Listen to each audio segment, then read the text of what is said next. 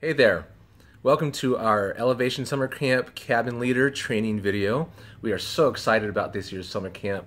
We're excited about the students and what God is going to do in their lives. And we're excited about you. Seriously, on behalf of the summer camp staff, I can't tell you how thankful I am for you that you would choose to give up a week of your life to invest in the lives of students.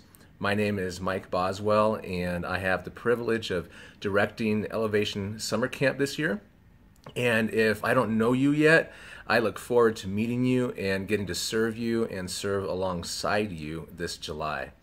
The first thing I want to mention about your role as a cabin leader is how critically important you are to this camp and to the students who will be there. In fact, yours is probably the most important role at camp, and let me explain why. First of all, you get to be a part of the life change and transformation that students experience at summer camp. You get to be part of what God's Spirit will do in their hearts and in their minds. Along with that, you get to be an instrumental part of helping teens make potentially life impacting decisions that are so radical that they'll literally direct or redirect the course of their lives. You not only get to be part of that, but you're needed to be part of that as well. Next, and this is such a powerful point, you get to build authentic relationships with students that will last way beyond our summer camp. You uh, are the one who goes home with them. You're the one who, because you experience camp with them, gets to help and, them and encourage them as they continue to learn to walk with Jesus. You help solidify their faith, and they will need you to walk with them. You get to be a much needed cheerleader for them, an example, a mentor, a friend. When the camp high wears off, you get to help them in the valleys of life. And one more reason why you are so vital to this camp. You may not, uh, or you may even be the one that, that God uses to talk a student away from a ledge. And in doing so, you will have saved someone from potential disaster or worse. I love how Jude writes in his letter in verse 22. He says, Be merciful to those who doubt, snatch others from the fire, and save them. And I, can't think of a, a, better way to put it than snatching, being able to snatch people from the fire. And, and that's what we get to be part of. Now, as we go on in our limited time together, I can't encourage you enough to carefully read through and discuss the group leader handbook, the ideas for cabin times page, and your job description, all of which were sent to your church, along with promotional posters, registration forms, and flyers. The more prepared you are, the better experience Elevation Summer Camp will be for you and for all the students. Plus, you know, it's kind of required that all leaders carefully review the training material as well. Uh, by the way, when the handbook uh, that you read says group leader, it's referring to you, the cabin leader. So let's look at a few things that uh, I want to highlight as a cabin leader. Uh, first of all, is relationships. Ministry is all about relationships. And at summer camp, there are three key relationships that you are responsible for. Uh, the first relationship is uh, that you're responsible for is your relationship with God.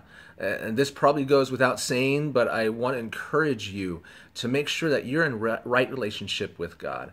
Spend some time in prayer, connect with Him, ask Him to help you hear His voice, especially as you prepare to serve the students that He loves just as much as He loves you.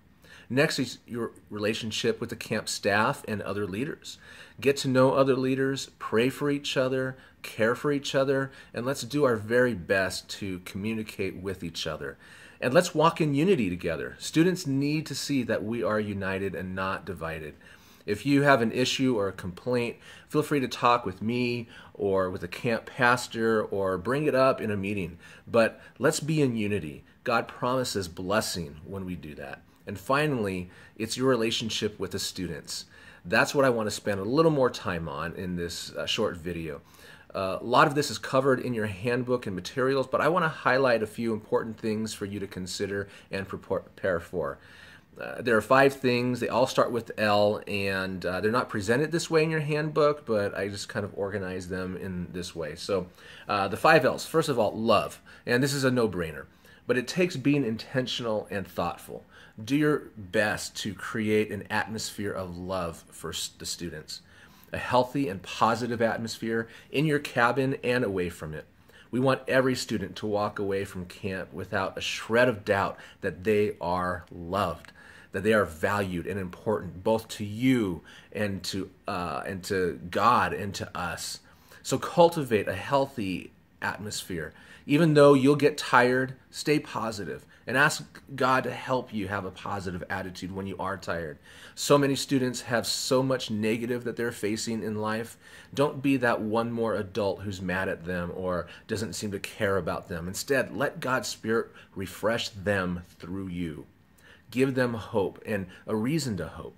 Along with a loving atmosphere, never shame a student for anything. And if other students are picking on someone, come to that student's defense.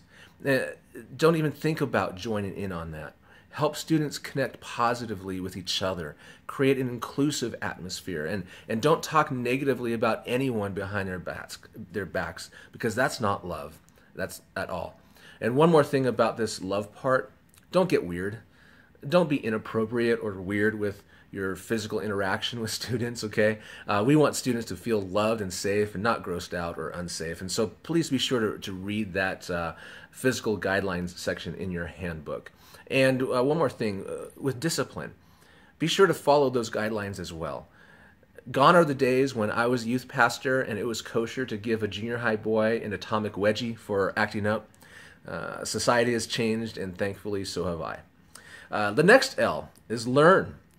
Don't come to camp with a know it all attitude. Come willing to learn, especially learn about the students that you lead. Learn their names, what they like to do, and what's important to them. What are they facing? What are their concerns and their cares? They, they want to know that you're interested in them. And the more you learn about them, the better you can serve them, and the more they will be convinced that you actually do love them. The third L is listen you will have the responsibility to lead cabin discussions uh, and to work with your assistant cabin leaders to lead those discussions as well. But make listening your number one priority. Yes, ask questions, draw them out, but let them do the talking and, and, and asking and asking and answering before you give the answers. Uh, don't be the the uh, the Bible answer man. Uh, let them do that because listening communicates value and and it helps students process what they hear and see and experience in a more personal way. Now the fourth L is lead. Be that role model that students want in their life. Lead by example with your attitude, with your words, with your actions. Make sure they're following camp rules and schedule. That that's important. That's a huge part of camp and and making it run well. Uh, lead your cabin times with grace and focus. We're going to try to make it easy for you uh, with your cabin times and discussions by having discussion questions printed out for you, uh, questions and talking points that uh, directly tie into each message and each chapel time. Uh, so we're going to try to make that easy for you. Now, something else that you should be aware of. There may be a student who will disclose sensitive and private information about their past. What a privilege and honor that they'd trust you that much. Now, first of all, keep in mind that unless you're a licensed pastor, confidentiality is not required of you. You need to keep it confident and confidential. Don't share with other students. But if there's something pressing that you feel like you need to talk to another leader about or or myself or camp staff about, um, you are allowed to do that and, and, and, to gain some wisdom with that. Uh, depending on the circumstance, the student who shares with you may need to know that you need to share it with another leader as well. Uh, second, if you are a pastor or teacher or counselor, and any kind of abuse is disclosed, whether it's sexual or physical or pornographic, you are required by law to report it.